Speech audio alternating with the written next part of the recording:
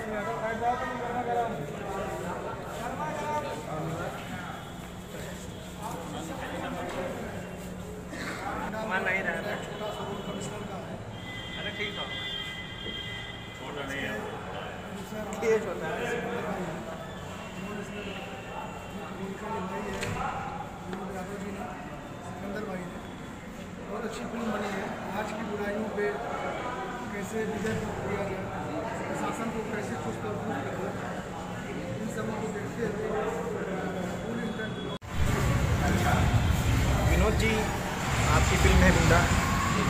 ये पहली फ़िल्म में आती है जी। यहाँ मौजूद है कैसा लग रहा है आपको? आ, मेरे को बहुत अच्छा लग रहा है। और मैं सबसे पहले बाबा विश्वनाथ को प्रणाम करूँगा जो इस धरती से मुझे हीरो बनने का चांस मिला।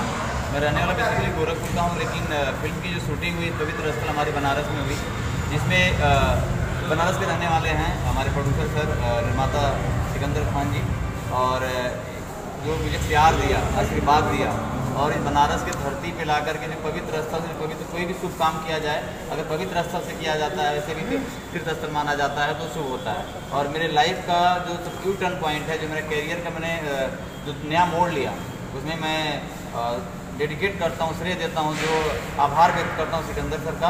और इस बनारस में जो प्यार और सम्मान दिया इस क्षेत्र के ब्लॉक प्रमुख श्री सुभाष यादव जी, हमारे फ़िल्म में कमिश्नर का रोल भी किया उन्होंने। और जो हमारे फ़िल्म को सपोर्ट किया, हमको सपोर्ट किया, हर स्तर से मैनेज किया कि विनोद जी आप करिए और आपको सबसे अच्छा बेहतर रिस्पॉन्स मिलेगा। और मिला, प्यार भी मिला, सम्मान भी मिला और बहुत लोग यहाँ के बनारस मुझे आज भी फ़ोन करते हैं प्यार करते शूटिंग से। आठ महीना शूटिंग कंप्लीट हो गया। लेकिन फिर भी कोई भी उसमें कमी नहीं है। और जब भी आता हूँ बनारस में सुभाष भैया ज़रूर मिलता हूँ। और बहुत अच्छे इंसान हैं और वो अपने क्षेत्र को, इस बनारस क्षेत्र को बहुत बढ़ाना भी चाहते हैं। उनकी भी फ़िल्म है, फ़िल्म और भी काम है। और अपनी गुंडा की फ़िल्म भी सहयोग, बहुत सारा सहयोग था, उनका हर तरह से सहयोग था। मैं सबका आभार व्यक्त करता हूँ जो आज प्यार मिला इस बनारस आनंद मंदिर में मैं भी हूँ। यहाँ पे जो ऑडियंस का प्यार मिला, वो मेरे लिए बहुत ही सौभाग्य की बात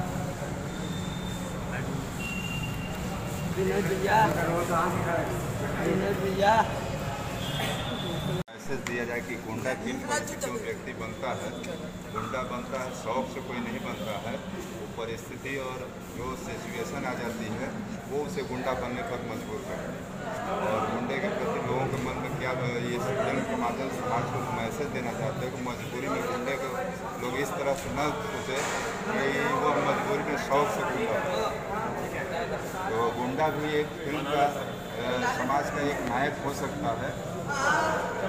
और उस नायक को माध्यम से जो समाज को मैसेज दिया जाना चाहिए वो हम समझते हैं कि इस फ़िल्म के माध्यम से समाज को मैसेज भेजा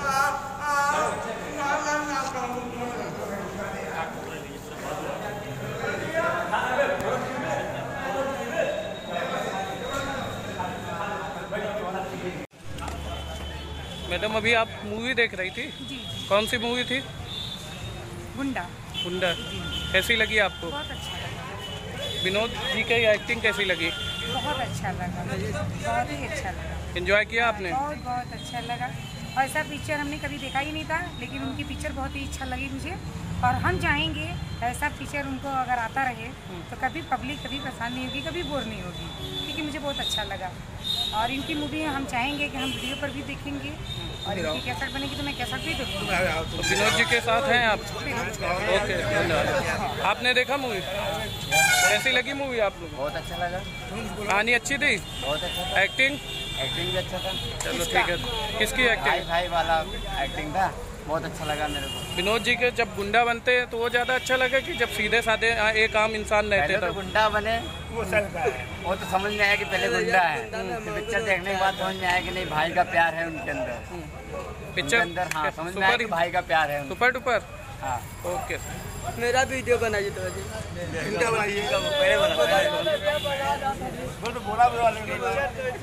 मैं विनोद जी के गुंडा में रहना चाहता हूँ भैया आप बताइए।